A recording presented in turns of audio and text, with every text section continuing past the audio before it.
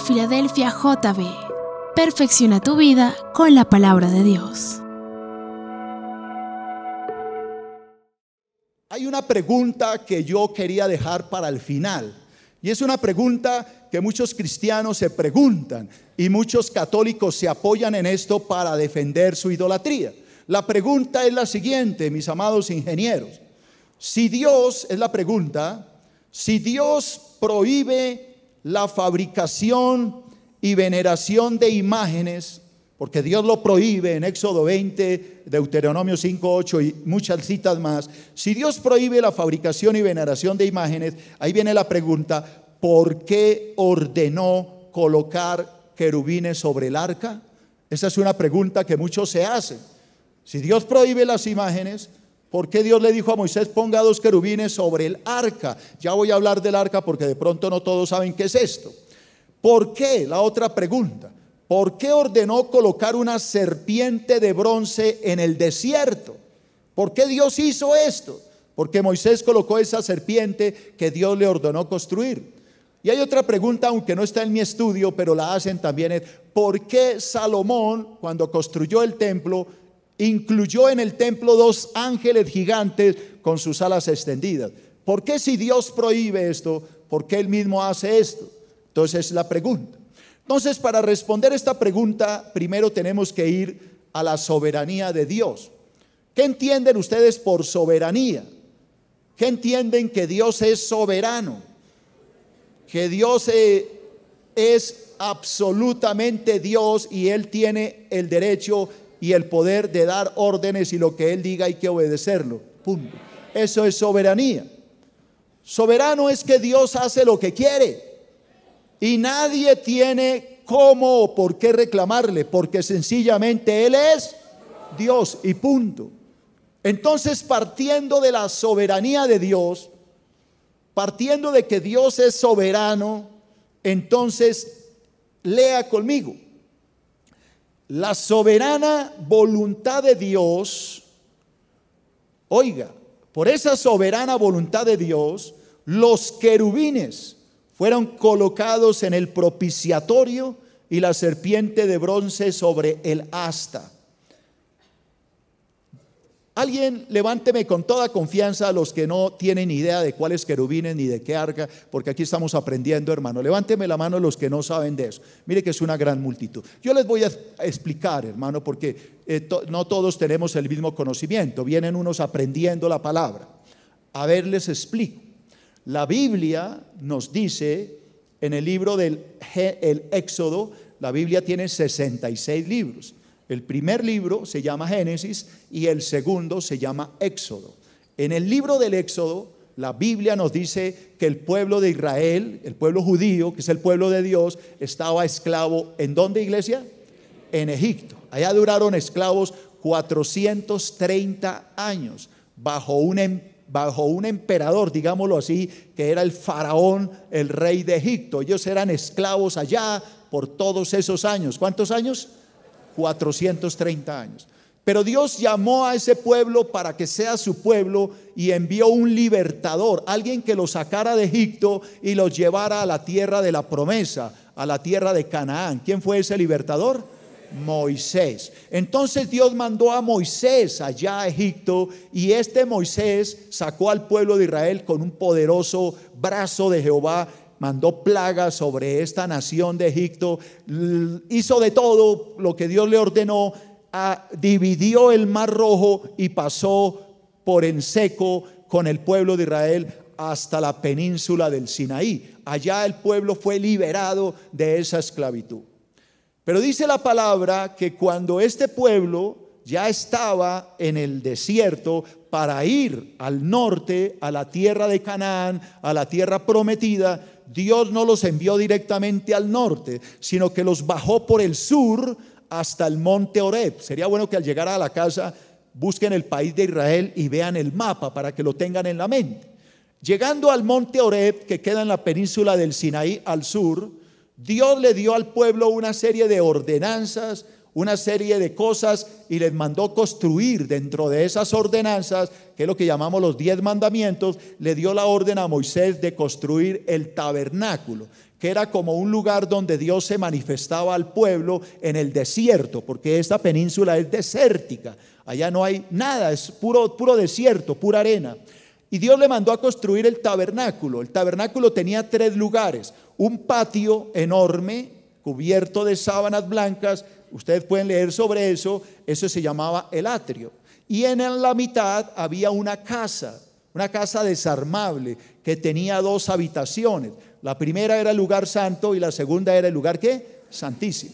En el lugar santísimo, que era el lugar de donde Dios aparecía, que es un cubo perfecto, lado por lado por altura, perfecto, ahí había un mueble, que era el arca. Esa arca era de oro, era una caja de madera de acacia cubierta de oro rectangular. Dentro de esa caja Moisés colocó, las tablas de la ley, los diez mandamientos que Dios escribió en el monte Oreb. Eso lo puede leer usted en el libro del Éxodo. Allá puso el arca, pero Dios le dijo a Moisés que tenía que ponerle una tapa a esa caja, se llamaba el propiciatorio. Esa tapa, Dios le mandó construir dos ángeles de oro tallados, uno así en esta posición, con sus alas extendidas, mirando al propiciatorio, y el otro al otro lado de esta manera, ambos querubines tallados de oro mirando al propiciatorio. Entonces las personas que defienden la idolatría dicen, mire, si Dios no quisiera las imágenes, pues no le hubiera ordenado a Moisés hacer estos querubines. Esa es la primera. La segunda eh, apoyo de estos hermanos que les gusta, eh, de estas personas, mejor que les gusta la idolatría, es que el pueblo de Israel cuando estuvo en el desierto, el propósito de Dios era que duraran dos años solo en el desierto. Durante estos dos años les dio la ley y a los dos años los subió al norte, a la tierra prometida, a un lugar llamado Cades Barnea que quedaba frente a la tierra de Canaán para entrar y tomar posesión. Pero el pueblo de Israel se le ocurrió una idea y dijeron, oiga, antes de entrar a la tierra esta que Dios nos da, ¿por qué no mandamos unos eh, espías que vayan y le den la vuelta a esa tierra a ver qué tal es? A ver si es tan buena como Dios dice que fluye leche y miel. Mandémoslo. Entonces mandaron un representante por cada tribu. En, Israel hay 12 tribus. Para que usted me entienda, aquí en Colombia tenemos varias tribus. Tenemos los cachacos, tenemos los paisas, los santanderianos y los costeños. ¿Alguien me está entendiendo? En Israel hay cuántas tribus? 12. Mandaron uno de cada uno a recorrer la tierra prometida. Y efectivamente era una tierra hermosa, de frutos, de cosas exquisitas, una tierra muy próspera. Y cuando regresaron trajeron una cantidad de frutos. Pero entonces cuando llegaron, desanimaron al pueblo. Le dijeron, la tierra de verdad buena, muy buena. Pero el problema es que ahí hay unos tipos grandísimos, son los hijos de Anaxos, manes, son unos gigantes. Eso nos van a pisotear y nos van a acabar. No, no, no, nosotros no podemos entrar a esa tierra. Esa es una tierra muy peligrosa, es buena. Es muy buena, es una tierra ganadera de muchos frutos, pero es una tierra donde hay gigantes. Y nosotros somos como langostas, como cucarachas al lado de ellos. Y eso a Dios lo enojó. Solamente dos hombres de esos doce dieron un buen informe. Uno es Josué y el otro es Caleb. Los otros diez se rechazaron y desanimaron al pueblo. Y entonces el pueblo dijo, no, devolvámonos para Egipto. Oiga, Dios los saca de la esclavitud y estos se quieren devolver a la esclavitud. Entonces Dios se enojó y les dijo, 40 días recorrieron esa tierra, pero como no me creen, ahora los voy a castigar. Por cada día que duraron recorriendo la tierra de Canaán, por cada día los voy a castigar un año. Un año van a estar en ese desierto hasta que se mueran todos los incrédulos, los que no me creyeron. Y a esos niños que ustedes tienen, a esos chiquiticos que dicen que yo los saqué de Egipto para matárselos en el desierto, pues a esos chiquitos los voy a meter allá 40 años después. Y Dios tuvo al pueblo durante cuántos años? 40 años en el desierto. Durante esos 40 años el pueblo sufrió mucho, protestaban, se quejaban, que tenían hambre y Dios hizo llover maná del cielo, que tenían sed y Dios les dio agua de la roca, que es un cuadro de Cristo. Durante ese tiempo pelearon, alegaban, pataleaban de todo, hasta que a Dios se le acabó el genio y mandó por ira que tenía, porque yo estaba enojado, así como mandó ese huracán ahorita y así como mandó ese terremoto, Dios envía eso cuando está molesto. Entonces mandó unas serpientes, porque en el desierto, ¿qué más va a haber, hermano? Alacranes, escorpiones, serpientes y arañas venenosas, no hay nada más. Entonces empezó las serpientes a morder a la gente, a los rebeldes. A los que se quejaban los mordían las serpientes, que es un cuadro de Satanás, y les inyectaban el veneno, que es un cuadro del pecado. Entonces la gente empezó a morir. Y Moisés fue ante Dios y le dijo, Señor, se me está muriendo la gente, por favor perdona a este pueblo rebelde, a este pueblo pecador. ¿Qué hago, Señor? Se me va a morir todo el mundo. Y el Señor le dijo, hazte una serpiente de bronce, una imagen que represente una serpiente, póngala en un palo alto y clávela ya en el desierto. Cuando alguien sea mordida por una de esas serpientes, por su pecado, que ese pecador se arrepienta y mire a esa serpiente. Y si mira con fe a esa serpiente, va a vivir. ¿Por qué Dios hizo esto? La Biblia nos da la respuesta y ya la vamos a ver. Esa serpiente no era para que la adoraran. Esa serpiente era un cuadro de Jesucristo que venía a este mundo para hacerse maldición por nosotros, para llevar nuestros pecados, porque la palabra dice en Isaías 53 que Él cargó nuestros pecados, sufrió nuestros dolores. La palabra dice que Cristo se hizo maldición por nosotros. Por eso el cuadro de una serpiente, porque Cristo venció al Satanás, al pecado y a la inmundicia y lo dejó clavado en la cruz del Calvario y hoy somos libres del pecado porque miramos a Cristo, al que, al que murió por nosotros. Entonces, hermano, ya que entendió un poco, lea conmigo. Los querubines con el asta, con las alas extendidas y sus rostros inclinados, simbolizan el respeto, reverencia y adoración que los ángeles le rinden a Dios en el cielo. Fíjese, hermano, que los ángeles no están allá en el, en el, en el propiciatorio así. No, los ángeles están inclinados, mirando abajo. El otro ángel está mirando abajo. ¿Qué es lo que Dios quiere simbolizar? Que en el cielo los ángeles, todos, hasta los ángeles más poderosos, todos se postran en su presencia y adoran al único Dios verdadero, porque no hay más que un Dios, el Dios todopoderoso. ¿Qué más representan esos ángeles? Los querubines, que son ángeles, con sus rostros inclinados, nos muestran la manera correcta en que nosotros los creyentes nos debemos acercar a nuestro Creador. ¿Cómo nos debemos acercar? Humildemente, hermano, reconociendo que Él es el único Dios, que no hay más. Lea por favor Éxodo 25 y versículo 20. Y los querubines estos ángeles que Dios le mandó a hacer a Moisés en el propiciatorio extenderán por encima las alas, cubriendo con sus alas el propiciatorio. Sus rostros el uno enfrente del otro, pero mirando a dónde? No oigo, no oigo. Al propiciatorio. Quiere decir que están qué? Inclinados. ¿Por qué? Porque en medio de esos dos querubines, en medio de eso, una vez al año entraba el sumo sacerdote, solo una vez al año, con sangre, el día de la expiación, y derramaba esa sangre para que Dios perdonara los pecados del pueblo de Israel. Ahí en ese centro era donde Dios estaba. Ese centro simboliza el trono de Dios. Ahora, si ustedes quieren ver esto, este simbolismo en vivo y en directo, solo lean Isaías capítulo 6, del versículo 1 al 8.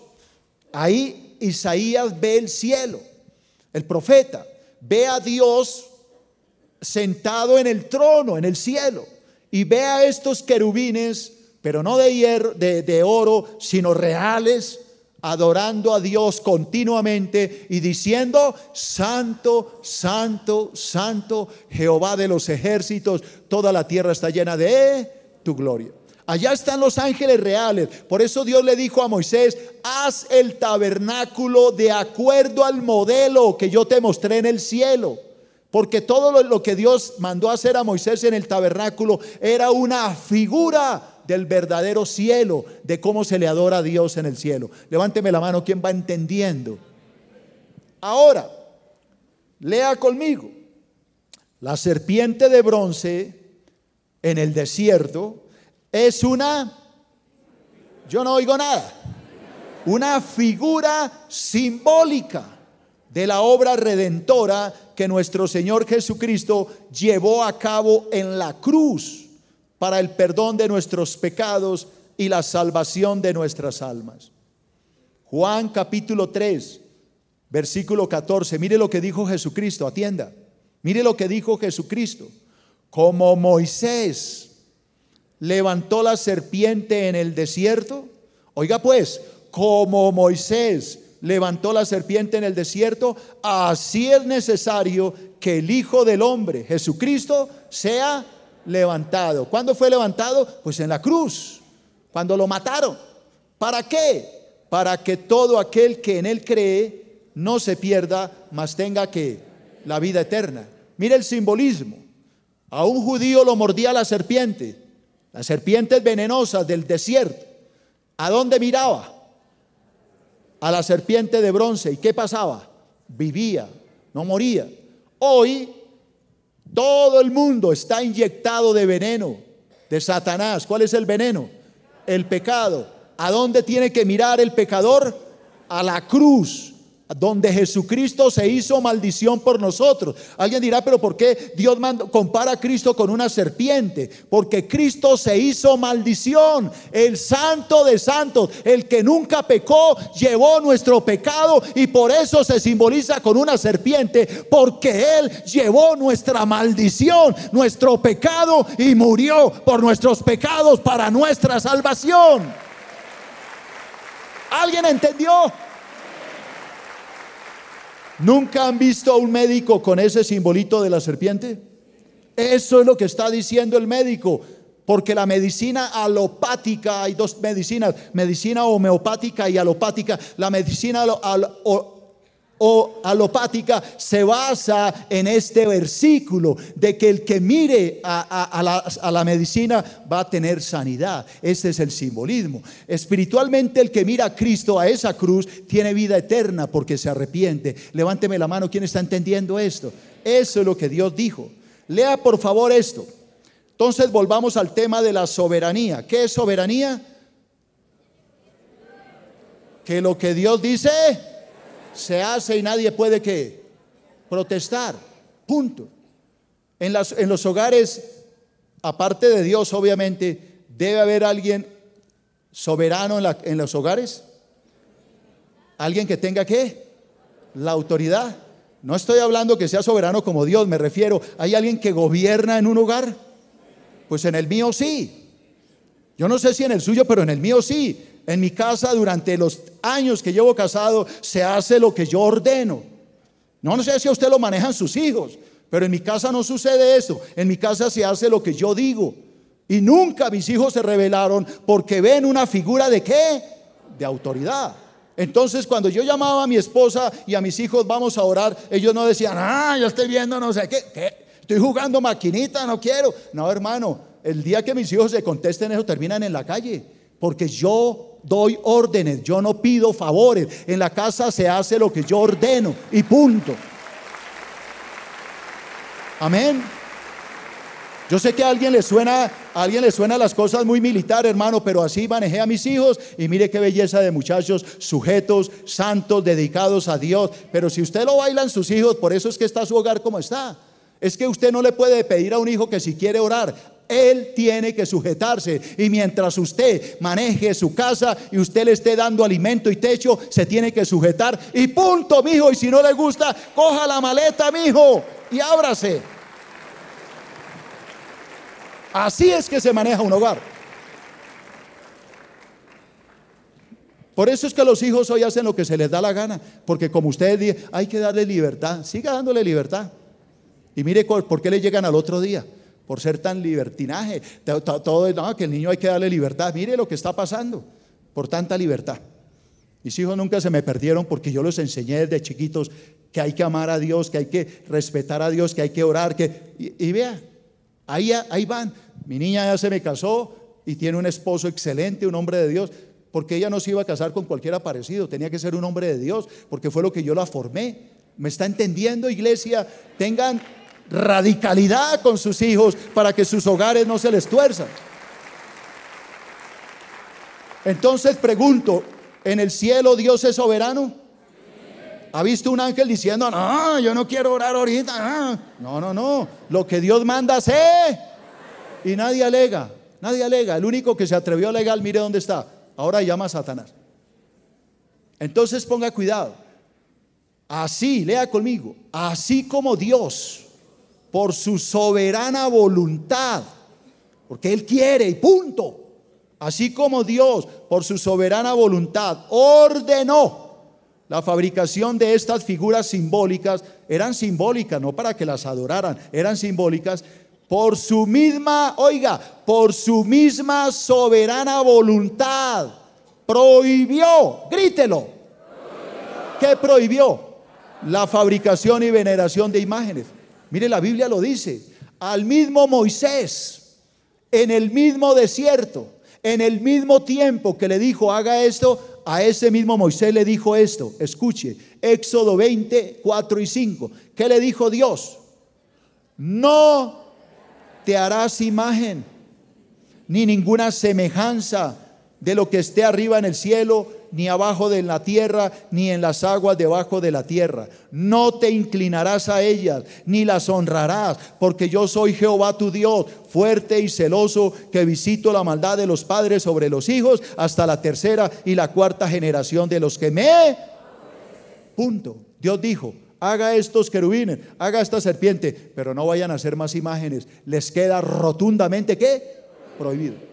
No, y el hombre dice, no, si Dios hizo querubines, hizo asta, pues yo también hago monachos, yo también los hago, yo quiero y punto. Entonces yo le pregunto, ¿son rebeldes? Porque están yendo en contra de la soberanía de Dios, están pasando por encima de lo que Dios dice. Eso es tanto como un hijo al que usted le dice, papá, quiero ir a una fiesta. ¿Qué le pasa, hermano? ¿No somos cristianos acaso? ¿Cuál fiesta? ¿De qué me está hablando usted? Es que me quiero ir a rumbear, vengo mañana. No, no, no, no, mijito, olvídese, usted no puede hacer esto, le queda prohibido. Y el chino dice, pues no, viejo, ¿qué le pasa? Olvídese, ay, cuchito este, hasta luego. Pues entonces, mi hijo, arranque de una vez para su fiesta con su maleta. Porque está pasando por encima de mí autoridad. ¿Alguien me está entendiendo? Usted llega a la casa y el chino está fumando y esa sala huele a humo. ¿Usted qué le pasa? No, yo ya tengo edad para fumar. ¿Qué le pasa, mi hijo? Esta no es su casa, compadre. Esta es mi casa. Si usted quiere fumar, entonces arranque, mi hijo, cómprese una casa y vaya, destruya su vida. Pero aquí, mientras yo sea el jefe de esta casa, me respeta mi hogar y punto. Esto no tiene discusión. Entonces el día que el niño le dé por llegar con la, con la novia y de papá, qué pena, voy a fornicar con mi novia, ya salgo. Entonces hágale mi hijo para que no se ponga bravo. Si quiere, avíseme, le llevo eh, un poquito de hielo y un poquito de champaña para que la pasen chévere. Qué desgracia con padres que no tienen la autoridad para meter a sus hijos en cintura. Amén, iglesia, ponga atención a lo que le estoy enseñando. Los querubines, oiga pues, lea conmigo, los querubines jamás fueron objeto de veneración. Usted nunca vio al pueblo de Israel adorando a los querubines. Primero que todos los querubines no estaban pidiendo que los alabaran. Ellos estaban qué? Alabando a Dios. Nunca los querubines fueron objeto de veneración. Pero óigame esto, mientras que la serpiente de bronce, cuando comenzó a ser venerada por el pueblo de Israel, Dios qué mandó a hacer? La mandó a destruir. Porque el pueblo de Israel llegó un momento en que cuando se murió Moisés, ya Josué murió, ellos empezaron a adorar a la serpiente que Dios había mandado hacer y empezaron a rendirle culto. Cuando Dios se dio cuenta de esto, ¿qué mandó a hacer con esa serpiente? La destruyó. Oiga pues, segunda de Reyes, segunda de Reyes 18:4. Mire lo que hizo Dios. Él, Dios, quitó los lugares altos. Le dio la orden a un rey, al rey Ezequías.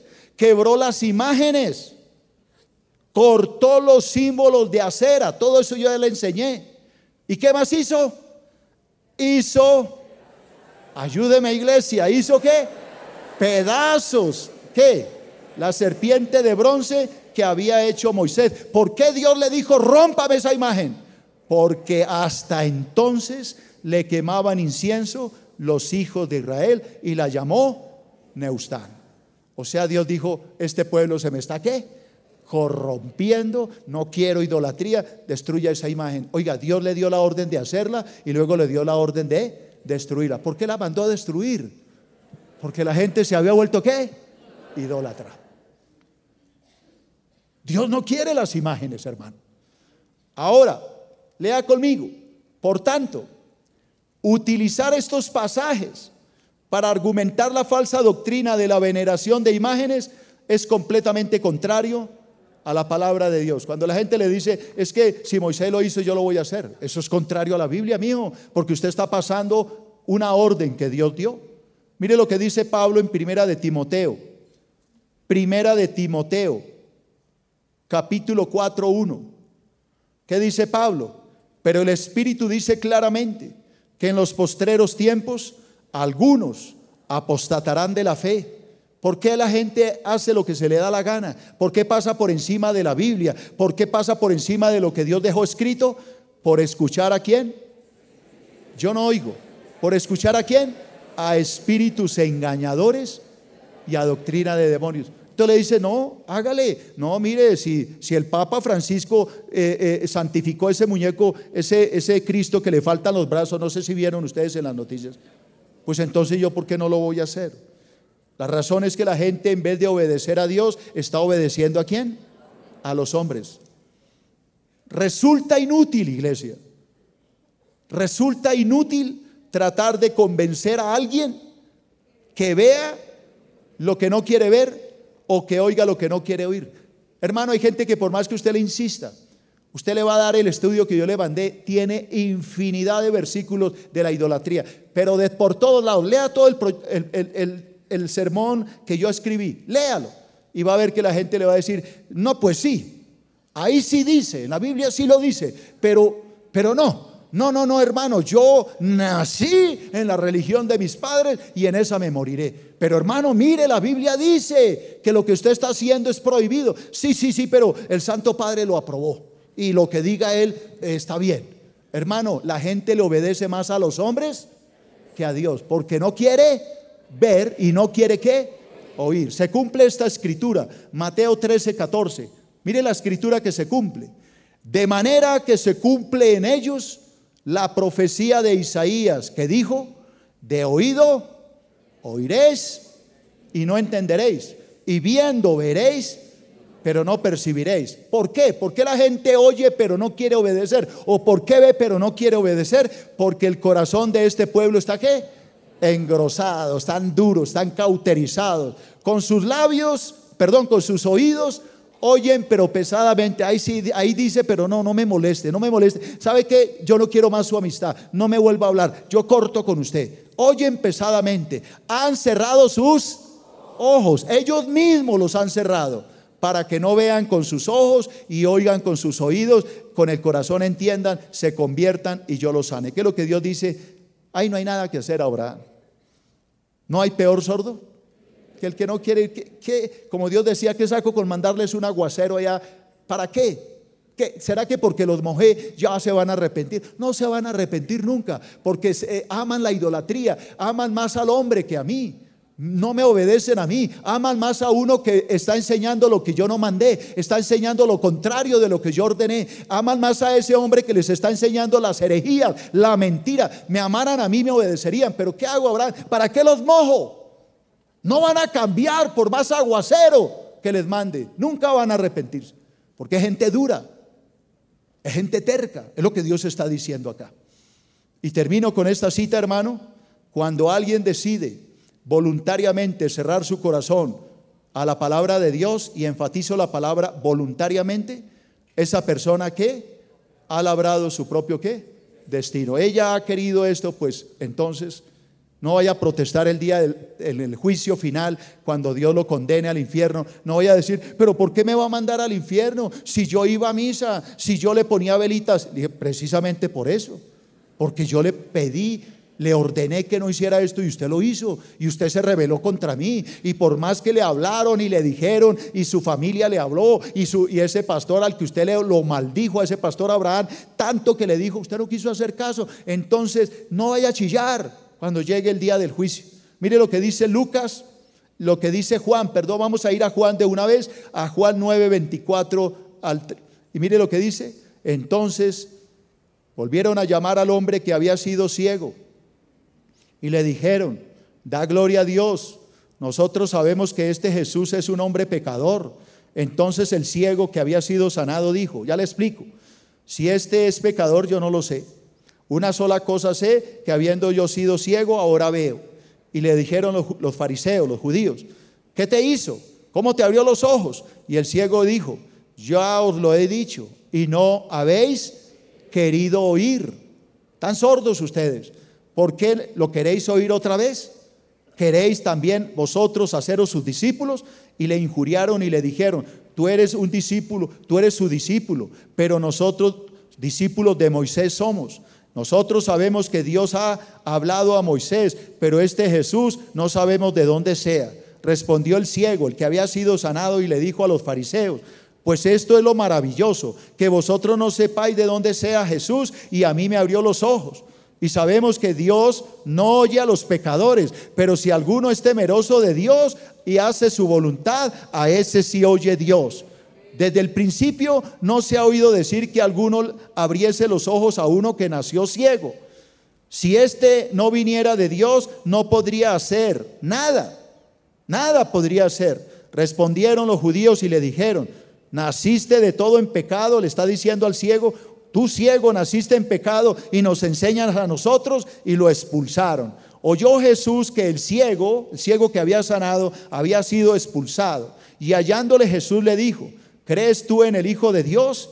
Y el hombre que había sido ciego respondió y le dijo, ¿quién es Señor para que crea en él? Y Jesús le dijo, pues le has visto y el que habla contigo es. Y este hombre le dijo, creo Señor, y le adoró. Y dijo Jesús, para juicio he venido a este mundo, para que los que no ven vean y los que ven sean cegados. Oiga pues hermano, este hombre ciego que el Señor sanó, le estaba dando clases a los teólogos de su época. Este hombre ciego veía más que los mismos que tenían los ojos sanos. Hermano, no hay peor sordo que el que no quiere ir, oír y no hay peor ciego que el que no quiere ver. Aquí tenemos a este hombre diciéndole a este, a este, eh, a estos fariseos, yo nací ciego, pero ustedes están más ciegos que yo, porque yo con mi ceguera encontré a Jesús, mientras que ustedes con sus ojos buenos se van a ir al infierno por rechazar al único que da la vida, Cristo Jesús nuestro Señor. Recuerda que puedes seguirnos en las redes sociales a través de Facebook, Twitter y en nuestro canal de YouTube. Búscanos como Iglesia Filadelfia JB.